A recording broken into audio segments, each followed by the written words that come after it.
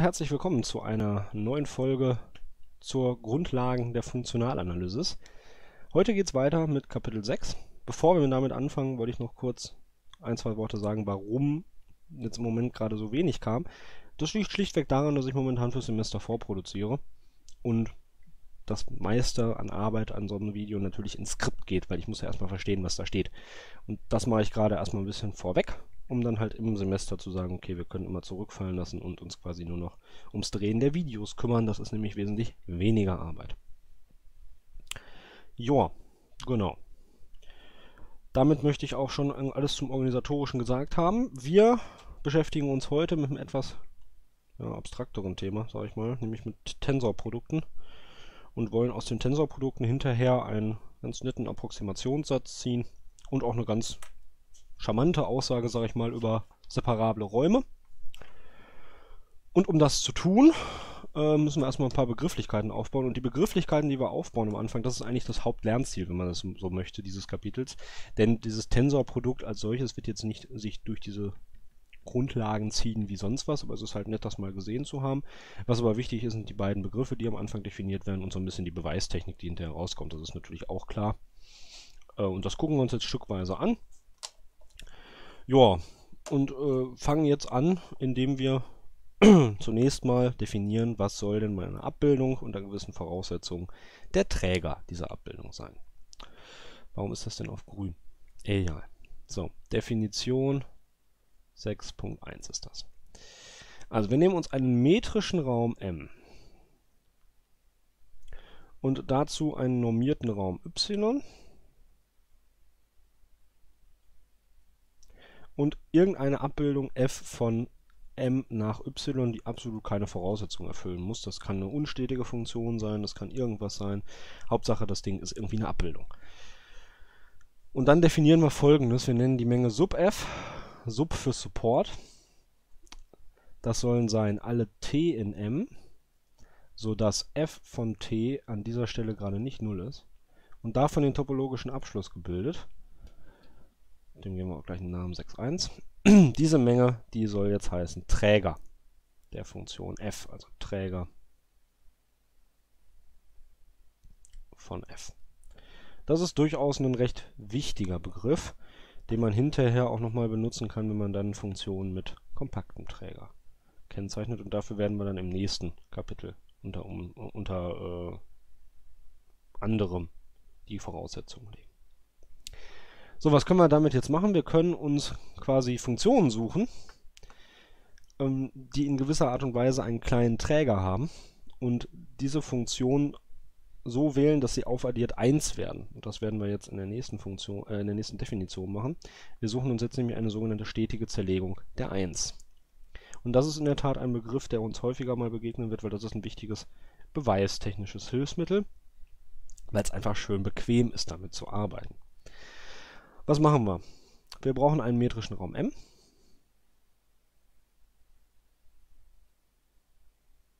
Zack. Und wir brauchen von diesem metrischen Raum M eine offene Überdeckung. Und die nennen wir einfach UJ, wobei jedes UJ die Kurzform sein soll für die Kugel mit Radius RJ um den Punkt SJ. Und das J von 1 bis N. Joa, das sind im Wesentlichen alle Voraussetzungen. Ich soll nur noch dran schreiben, dass das eine offene Überdeckung sein soll. So, und jetzt werden wir uns ein paar Sachen überlegen. Das heißt, eigentlich ist das keine reine Definition, sondern wenn man das in so einem Skripten sieht, dann manchmal immer so Sachen wie Definition und Satz, Definition und Lemma. Das ist eigentlich in der Definition und Lemma. Mhm. Allerdings bin ich kein Freund von den zusammengewürfelten Dingern. Deshalb ist das bei mir jetzt nur eine Definition. Aber eigentlich sind da drei Lemmata drin und die wollte ich nicht noch extra rausziehen. Deshalb äh, lest euch das am besten als Definition und Lemma. Im Skript ist das entsprechend gekennzeichnet und die Beweise, die werden wir uns aber hier kurz angucken. Also, wir definieren jetzt Funktionen Gamma j, die sollen ähm, von m, ja, wobei die brauchen wir nicht so genau quantifizieren, die sollen halt irgendeinen Punkt in m bekommen und das Ganze abbilden auf reelle Zahlen. Ähm, ja, warum schreibt man es nicht hin? Ich lasse es mal hier vorne vor, wir gucken uns das gleich in der Abbildung nochmal genauer an. Das heißt, wir bilden das t ab auf 0, falls das t außerhalb der entsprechenden Kugel UJ liegt. Das heißt, falls d von, S, äh, von SJ, t größer oder gleich RJ ist. Ja, und wir gucken uns an, was, was macht das sonst. Das macht 1 minus 1 durch den zugehörigen Radius der Kugel, die dahinter steckt, mal die Distanz von SJ zu dem t, das ich in die Funktion reinstecke. Das mache ich, wenn ich im Innern des Kreises bin. Ja, und das Ganze, wie gesagt, kriegt halt einen Punkt in m gegeben und was rauskommt, ist eine reelle Zahl. Genauer gesagt ist, dass das rauskommt, irgendwas zwischen 0 und 1, aber äh, es ist nicht wirklich spannend, sich darum zu kümmern, deswegen schreiben wir einfach mal r hin und gut ist es.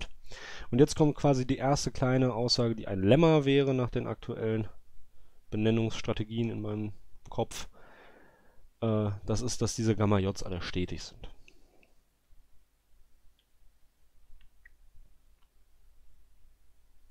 Ja, und das Ganze ist natürlich definiert für j gleich 1 bis n. Das sollte ich hier oben auch noch draufschreiben.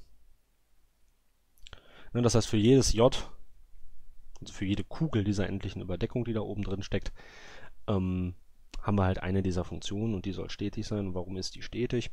Naja, was ist die erste Bemerkung, die wir dazu quasi brauchen, ist, das rechnet man ziemlich leicht nach. Das ist nämlich, dass diese Metrik auf dem Raum selber, die ist stetig. Das brauchen wir jetzt.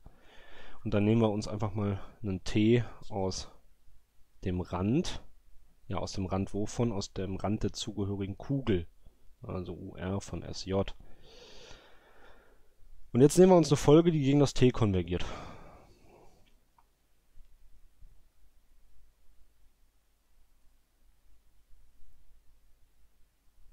Also tn gegen t für n gegen unendlich. Und jetzt gucken wir uns einfach mal an, was passiert denn, wenn ich jetzt in die Metrik das tn jage. Na, dann, dann folgt natürlich folgendes. Ich will betrachten den Abstand von SJ Entschuldigung, zu dem Tn. Die Metrik ist stetig. Wenn ich jetzt das n gegen unendlich laufen lasse, geht das gegen d von Sj, t. Ja, wenn ich jetzt aber d von Sj, t habe, dann weiß ich, dass t liegt auf dem Rand der Kugel mit Radius rj. Das ist also gerade rj. Für n gegen unendlich natürlich. Ja, und damit folgt halt, wenn ich mich an den Rand annähere über so eine Folge, ob das jetzt von außen geschieht oder von inneren, ist uns völlig egal. Das gilt nämlich für jede Folge auf dem Rand oder gegen einen Randpunkt. Dann passiert folgendes. Ich habe 1 minus 1 durch rj, d von s j, t ist gleich 1 minus 1 durch rj mal rj. Und das ist ersichtlicherweise 0 ähm, für alles äh, was auf dem Rand liegt. Ne? Also wenn das T hier auf dem Rand ist. Also für T aus UJ. Ich schreibe das jetzt mal hier in der Kurzform hin, weil so, dafür soll sie ja eigentlich auch sein. Äh, aus dem Rand von UJ, Entschuldigung. So, und daraus folgt dann natürlich sofort die Stetigkeit, weil außerhalb ist es ja 0. Und das sind die einzigen problematischen Punkte. Das heißt, daraus folgt Gamma J ist dann letzten Endes stetig. Das ist also alles, was man tun muss im Wesentlichen weil der Rest folgt dann hier aus der Fortsetzung durch die Null. Das ist sozusagen die erste Geschichte zu, dieser zu diesen Funktionen Gamma J. Jetzt wollen wir zunächst mal was über den Träger aussagen. Das ist sozusagen die zweite Eigenschaft, die einer kurzen ja, Bedenksekunde bedarf, sag ich mal. Und zwar gilt stets, dass der Träger dieses Gamma J eine Teilmenge ist vom UJ. Das heißt, der Träger liegt immer in der jeweiligen Kugel drin. Und das ist insofern schon klar, als dass es außerhalb dieser Kugel natürlich sofort 0 ist. Ähm, ja, dementsprechend muss man sich das jetzt nur noch mal einmal kurz überlegen. Was steckt da jetzt hinter? Da steckt auch nichts Großes hinter. Da muss man sich halt nur einmal sauber hinschreiben, wann diese Metrik 0 wird. Und zwar d von sj, t ist ja halt genau dann gleich 0, wenn dass SJ nicht T ist. So. Das heißt, das ist eigentlich eine triviale Behauptung, aber das macht die Argumentation ein bisschen einfacher. Das heißt, das Gamma J von T, das ist gleich 0, wenn das T äh, schön weit außerhalb des, der, der zugehörigen äh, Kreisscheibe liegt. Das heißt, wenn T liegt in äh, URJ von SJ Komplement. So. Damit hat man es im Prinzip, weil das heißt nämlich, es ist 0 überall anders. Das heißt, es ist nicht 0 mindestens auf einer Teilmenge da drin und das reicht uns ja aus. Ne? Weil wir wollen ja nicht genau quantifizieren, wo das Ding liegt, sondern wir wollen nur ausschließen, dass es irgendwo anders liegt. Ja, genau, das wäre das. Und was wir jetzt noch nachrechnen wollen, mh, hm, sind im Wesentlichen doch zwei Dinge noch. Ein Sternchen vergessen, aber das dritte Ding, was wir jetzt nachrechnen wollen, das ist relativ selbsterklärend. Ähm, wenn wir Gamma von t definieren als die Summe j gleich 1 bis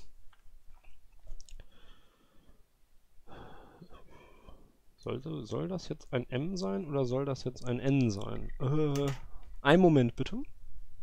Ich ziehe mal kurz die Literatur zu Rate. Ich befürchte nämlich, ich habe mich da einfach verschrieben. Ja, Egal wie es heißt, aber einheitlich muss es sein. Also Summe j gleich 1 bis n.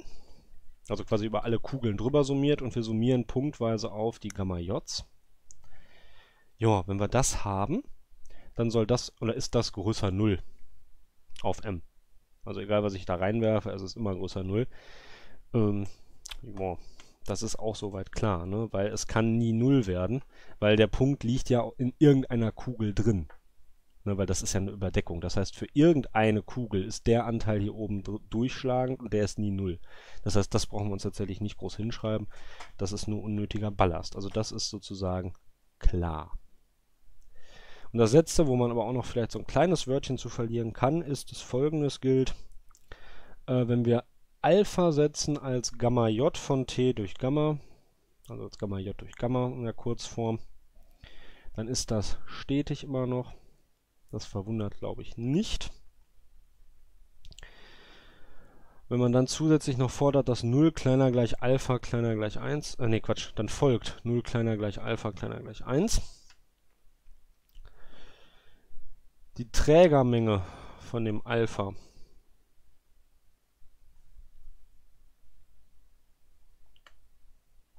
Da fehlt ein Index.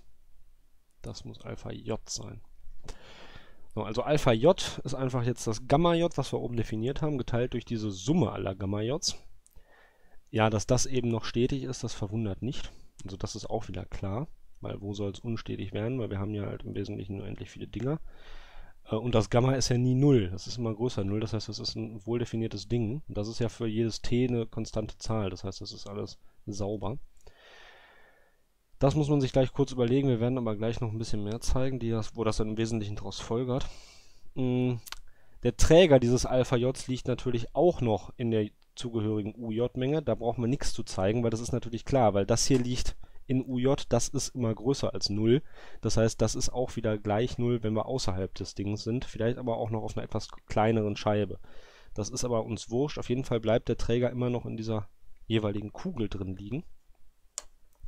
Und viel wichtiger, warum das Ding hinterher Zerlegung der 1 heißen soll, wenn ich diese Alpha-Js jetzt aufsummiere, j gleich 1 bis n, dann kommt 1 raus. So, also wie gesagt, das hier, das ist klar nach 2. So, damit das größer ist als 1, müsste so ein Punkt in allen Umgebungen drin liegen, weil nur dann schlägt der Term hier unten so durch, dass entsprechend mh, hm, das hier unten größer werden kann als das hier oben. Weil wenn ich so einen fixen Punkt rausnehme, dann ist ja Gamma J von t entweder 0 oder eben kleiner als 1. Damit das hier unten allerdings größer als 1 werden kann, muss so ein Punkt mindestens in... Ja, warte mal in keiner Umgebung drin liegen, weil dann müsste das hier unten nämlich kleiner als 1 werden sozusagen, ne, damit wir hier sowas wie 1 durch 0,5 haben. Und das kriegen wir aber in dem Moment dann nicht mehr hin. Das heißt, das ist auch soweit klar, man muss das nur einmal nachrechnen.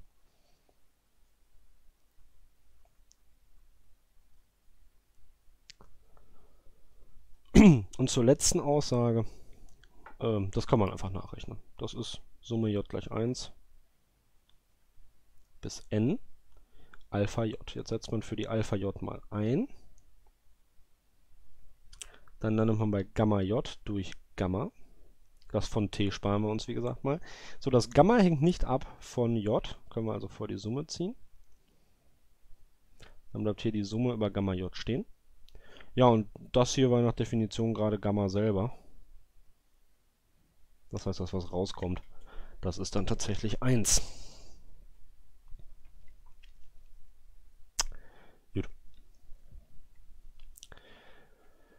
Ja, das wäre dazu halt im Wesentlichen alles gesagt. Und jetzt kommen wir zum Definitionsteil dieser Aussage. Das war im Wesentlichen der Vorschub.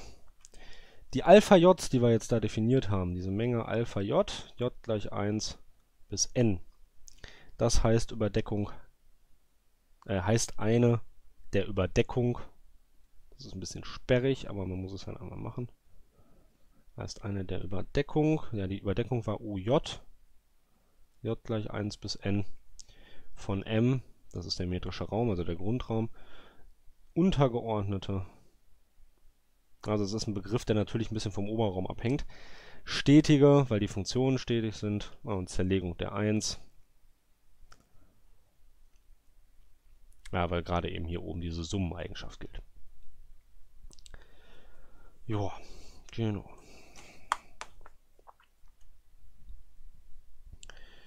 Gut. Genau, das wär's damit. Ich, ich hänge gerade noch so ein bisschen im 0 kleiner gleich Alpha kleiner gleich 1, aber ich bin mir eigentlich ziemlich sicher, dass das alles in Ordnung ist. Sollte es da irgendwelche Probleme geben, die mir im Nachhinein noch auffallen, schneide ich da was rein, beziehungsweise ich schreibe was drunter. Und falls da von eurer Seite berechtigte Einwände kommen, können die natürlich gerne schon mal an dieser Stelle gesagt in die Kommentare.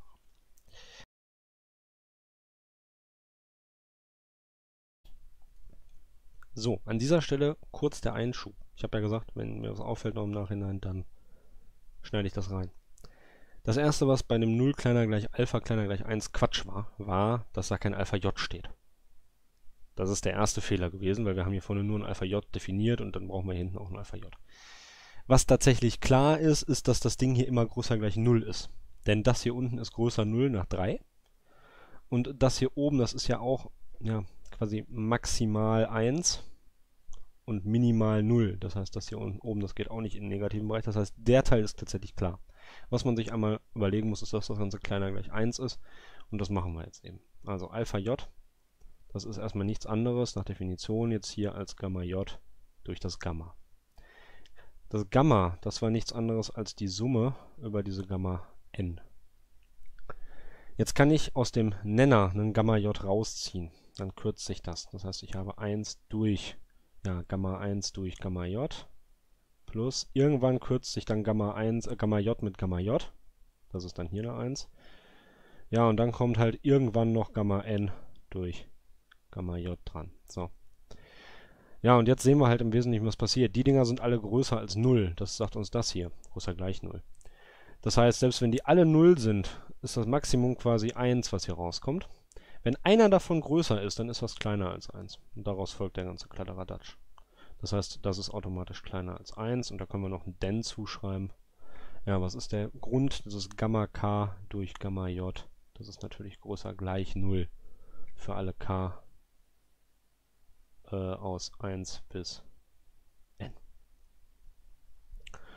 Ja, und damit ist dann diese Lücke geschlossen, die gerade bei mir im Kopf entstanden ist und die wahrscheinlich vielleicht auch bei euch drin ist. Und jetzt geht's weiter mit dem regulären Kurs, also mit dem ganz normalen Video. Jetzt kommt der nächste Teil.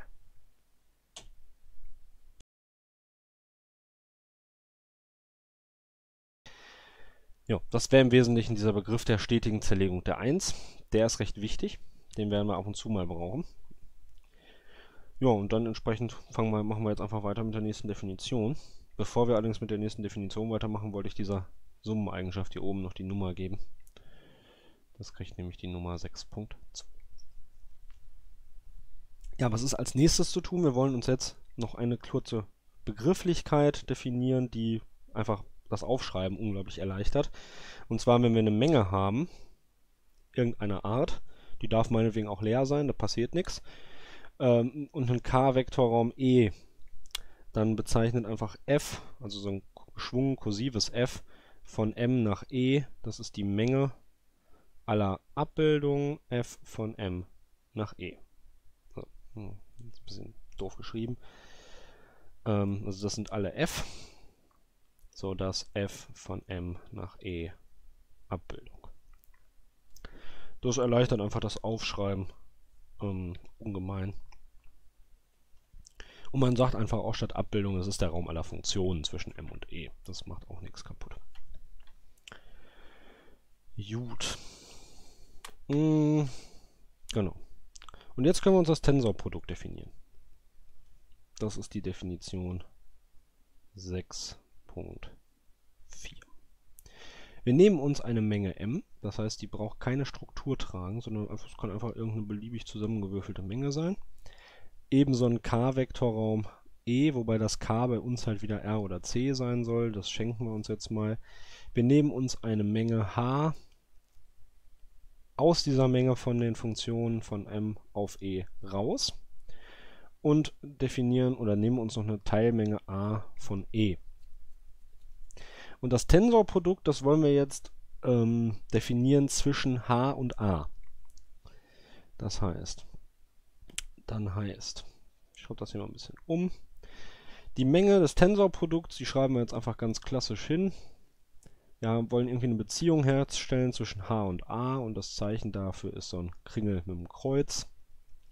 Und das ist einfach die Menge sozusagen aller Linearkombinationen k gleich 1 bis n Phi k mal yk für n aus n,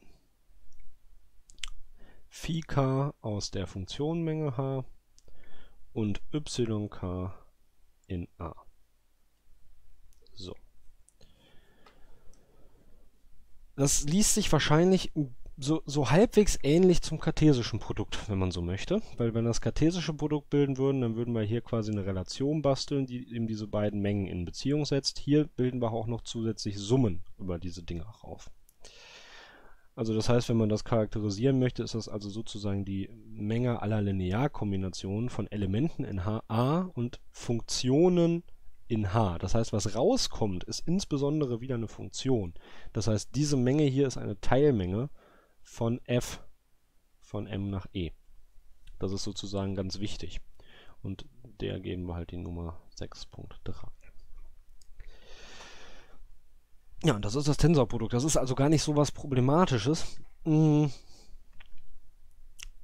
Jetzt wollen wir als erstes mal zeigen, dass gewisse Tensorprodukte ein endlichdimensionales Bild haben. Äh, dazu brauchen wir noch einen kleinen Sprech. Und zwar brauchen wir dafür noch Definition 6.5. Und zwar für eine Menge m und einen k-Vektorraum E äh, be bezeichnen wir oder ja, nennen wir die Funktionen, die von m auf sich selbst gehen, also f von m, das Ganze ins Tensorprodukt mit e geschrieben. Das bezeichnen wir als Raum der e-wertigen Funktionen auf M.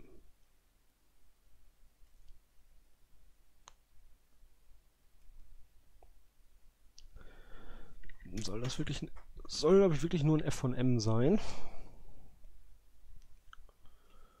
Ähm, aber bevor wir da uns jetzt in langwierige Sachen verstricken, Ah, es ist nicht, äh, es ist nicht f von m auf sich selber, sondern wir wollen das f von m, das habe ich oben in der Definition gerade vergessen, äh, das wollen wir folgendermaßen definieren. f von m soll sein f von m auf k. Ist also so ähnlich wie beim Dualraum, dass man hier halt nochmal, also dass man hier quasi spezielle Abbildungen reinpacken. In diesem Fall halt einfach alle Abbildungen, die irgendwie nur ein Element aus der Menge nehmen und dem eine reelle oder eine komplexe Zahl zuordnen. Und dann ist das hier eben so zu lesen, das sind quasi alle Funktionen, die m ne also ein Element aus m nehmen, das Ganze auf den Körper schießen und das dann im Tensorprodukt mit e. Gut. Joa. Genau, also als Raum der e-wertigen Funktion. Das ist quasi das, was wir hinterher in der Bezeichnung daraus extrahieren wollen. Und damit können wir dann jetzt dann doch mal ein, ein erstes Resultat erzielen, was ich nämlich gerade gesagt habe. Wir werden jetzt nämlich zeigen, dass Elemente, die hier drin liegen, ähm, äh, endlich dimensionales Bild haben. Und das fassen wir jetzt mal als Lemma auf.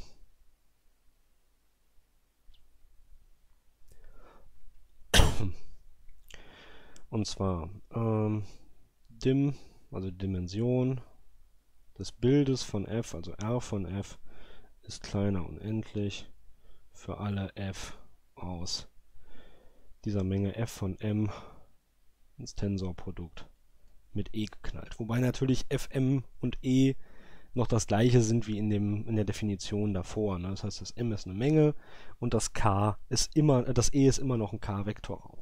Das k ist eben der zugrunde liegende Körper. In unserem Fall also entweder die reellen Zahlen oder die komplexen Zahlen. Und das wollen wir jetzt kurz beweisen. Ja, man kann sich jetzt zunächst mal dieses fm von äh, f von m Tensorprodukt mit äh, e einmal genau aufschreiben. Das wollen wir einmal tun. Dann hat man nämlich auch nochmal die Definition ein bisschen wiederholt. Und zwar haben wir da eben diese Phi Ks, Y Ks drin. Und das n ist immer noch aus n. Das Phi k kommt jetzt natürlich aus dem f von m. Und das y k das kommt aus E selbst, ist aber insbesondere natürlich irgendwo immer noch ein Skalar, wenn man das so möchte.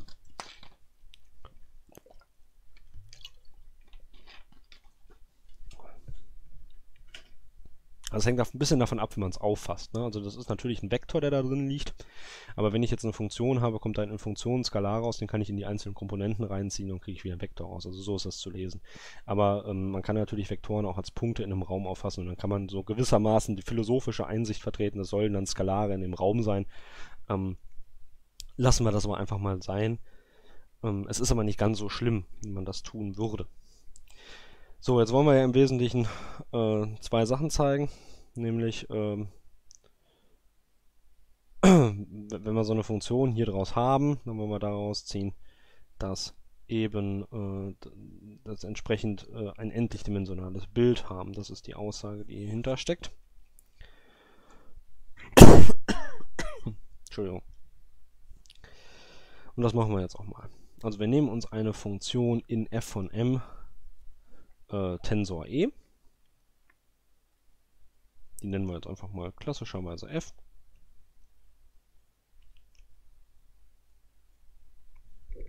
Na, Quatsch. Ja, nee. Ja, doch, der Beweis läuft ein bisschen anders, als ich das gerade im Kopf hatte. Man sollte die Sachen vorher lesen, bevor man sie aufnimmt, aber ich hoffe, das stört nicht weiter. Also wir nehmen uns f in der Menge der Funktionen die M abbilden auf den Vektorraum. Und zwar soll das Ganze folgendermaßen laufen. Es soll nämlich gelten, dass das Bild von f, äh von m unter f eine Teilmenge ist von v. Und was soll v sein? v soll irgendein Unterraum sein.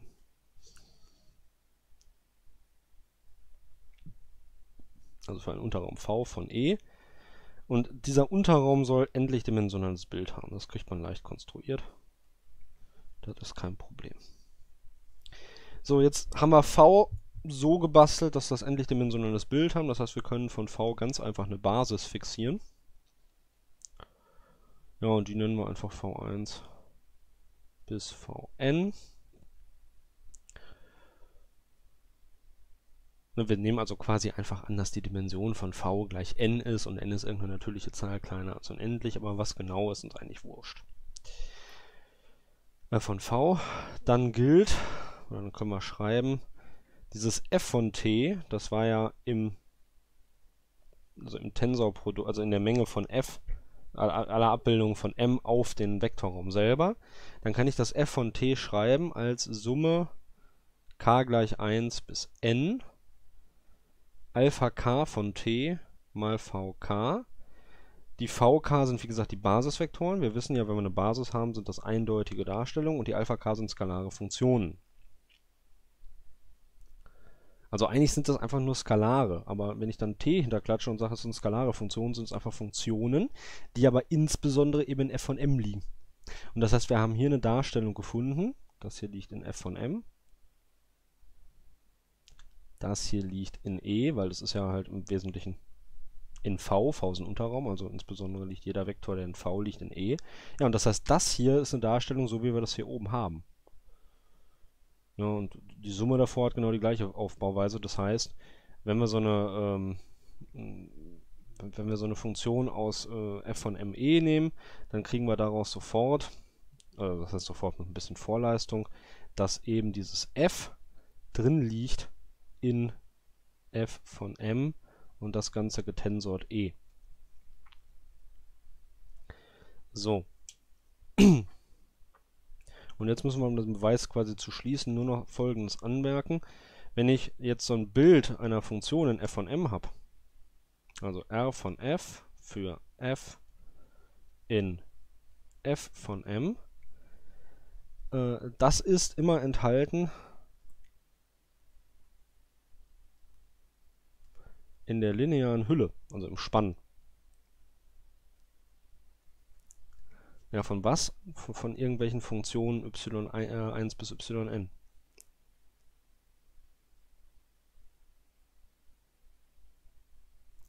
Das heißt, wir kriegen folgendes raus. Wobei diese y1, yn, das bezieht sich natürlich hier oben auf die Darstellung. Das heißt, es sind skalare Funktionen sozusagen. Ne? Das heißt, wir kriegen raus, dass dieses f, was wir hier gewählt haben, das liegt im Spann von y1 bis yn. So, und damit haben wir alles natürlich zusammen. Das heißt, wir haben einmal gezeigt, wenn wir einen f haben, das von m auf e abbildet, dann liegt das natürlich sofort in diesem f von m äh, getensort e.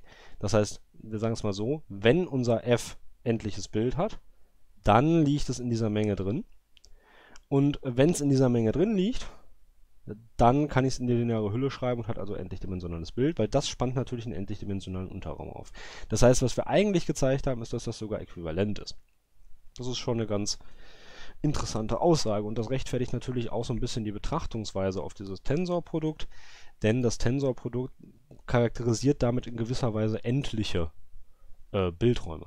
Denn wenn ich einen endlichen Bildraum habe, dann sagt mir das ja einfach nur, wir haben irgendwie eine Funktion genommen, die scheinbar in einem Tensorprodukt drin liegt. So, damit ist der Beweis sozusagen durch. Ich entschuldige mich an dieser Stelle, ich bitte an dieser Stelle um Entschuldigung für etwaige Ungenauigkeiten an diesem Video, weil es ist ein bisschen schlecht vorbereitet, was lange her, dass ich es gemacht habe, deswegen, ich hätte es mir vorher nochmal durchlesen sollen. Ich merke mir das für folgende Folgen äh, und hoffe, das dann besser machen zu können. Es dürfte allerdings auch nichts wieder gravierend falsch gewesen sein, was ich sehr, sehr hoffe. Äh, sollte das dennoch der Fall gewesen sein, dann äh, schreibt mir das in die Kommentare. Und anhand dieses Monologs könnt ihr euch sehr wahrscheinlich denken, das ist die erste Folge gewesen. Das heißt, wir machen auch hier wieder zwei Teile draus. Äh, ich denke, das ist der Übersichtlichkeit ganz hilfreich, aber ich sag mal so, ich lade die ja immer in einer halben Stunde Versatz hoch. Das heißt, wer jetzt sofort weitergucken will, kann das auch sofort tun.